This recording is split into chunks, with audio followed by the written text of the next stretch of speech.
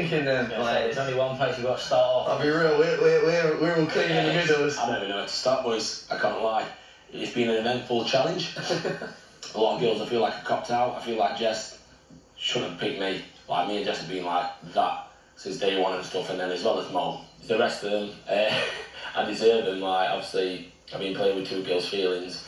A bit confused because like you'll see Mitch kiss me. Yeah. He's gone around the whole villa saying that he wants me back. And then he's kissed me in the And then he kisses you in the challenge. And then So he's trying to keep us both happy. You Can't do that. How are you? You okay? You're right, No, I'm not. He's just kissing a touched nerve. But then for him to kiss Katie and then Katie to kiss him, it's like, is there something still going on? And then for, after the kiss, it went on for a while with him and Katie.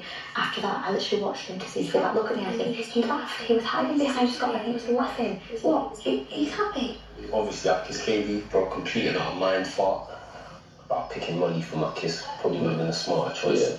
I thought marriage was the best one. I fucked that one up. Then, um, obviously, Katie kissed me back. So, my bad, bro. That's not you, though. No, no. Okay, I think mine was the most savagest. So. Well then, you start. Yeah. I rate it though. But Yeah, I didn't expect you to fight back. I know. I didn't feel like he expected it. Hence why his reaction was so. Like, Yeah, he was not crazy. happy. Some men like women that don't question them. Yeah. Do you feel like there's still something there with you two from your side? Yeah. Me is a bit of me, but I don't expect him to turn around and kiss you in the challenge.